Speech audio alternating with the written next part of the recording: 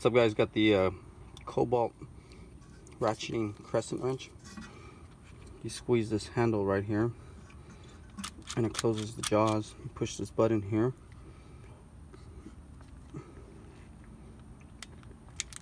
And it opens the jaw. Anyways, I'm gonna keep this ratcheting crescent wrench close by because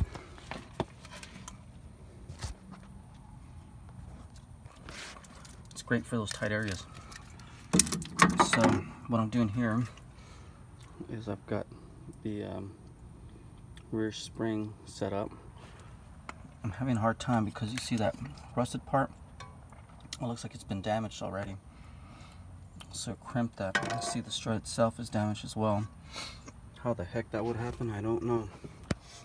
But of course, I'm gonna have to pry this out and probably have a hard time putting it back in, but we'll see what happens. The point of this video is to check out this crescent crescent wrench here in action. And I reviewed this before. I figured I have it out, might as well make a little video of it if I can get this light to hold. So I'm going to push this button here as I move this head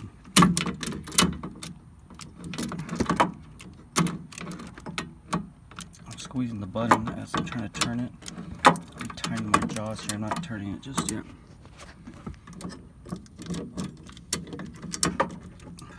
There we go, you hear the click click? There we go, now we're turning, watch the threads. So now we got it. Every time I use this flashlight, I hate it more and more. It's not designed for any real purpose. It doesn't hold well. Doesn't support itself.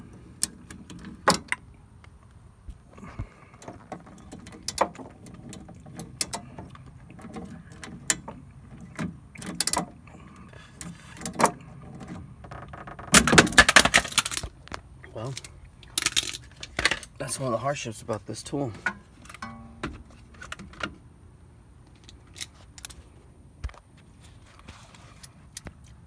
gotta find a sweet spot to it. I've noticed that if I have it just on the tip, it'll get a lot better. See the slip there? There we go. push on this as I do this. Hopefully I have one more gear in. There we go.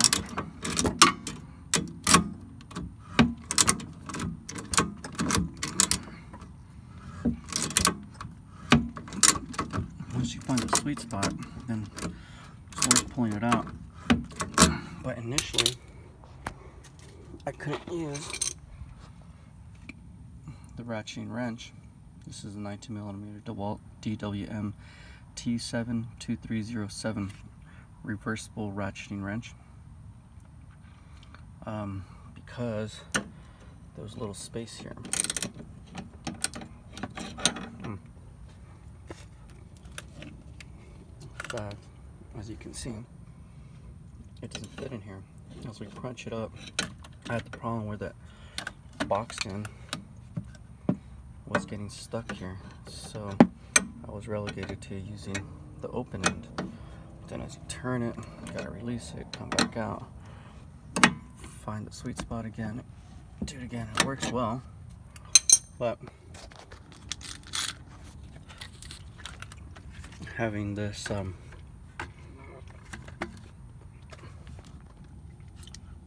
ratcheting crescent wrench. Works a lot better.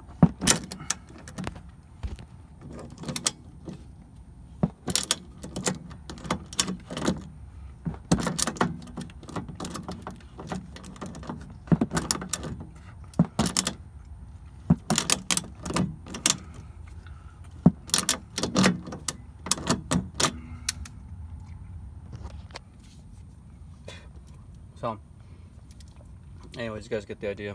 Here's the uh, Kobalt ratcheting crescent wrench. You can see the jaws. The jaws move. And that's how they end up, you know, allowing the crescent or the ratcheting to occur. Thanks for watching. What is today? The 3rd of September. Ha, it's almost my sister's birthday. Soul, if you're listening, love you. Hopefully you're doing well. Have a great day.